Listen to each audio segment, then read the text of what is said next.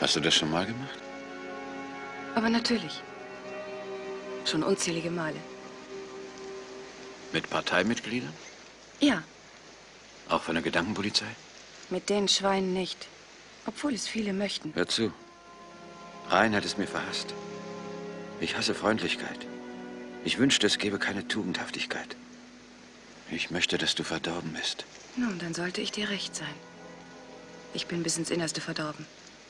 Findest du auch Spaß daran? Ich meine, nicht nur mit mir. Ich genieße es. Anschließend möchte ich noch ein paar Worte sagen über die Wirkung dieses zukünftigen neurologischen Unternehmens.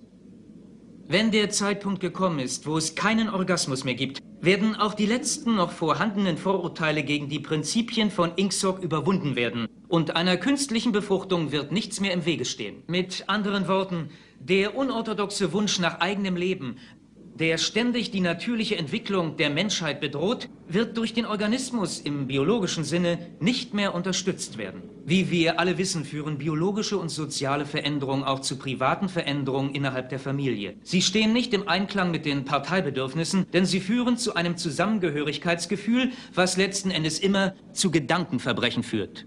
Die Einführung der künstlichen Befruchtung in Verbindung mit einer Abschaffung des Orgasmus macht die Familie in wirkungsvoller Weise überflüssig, bis es nicht mehr möglich sein wird, zu empfangen. Danke.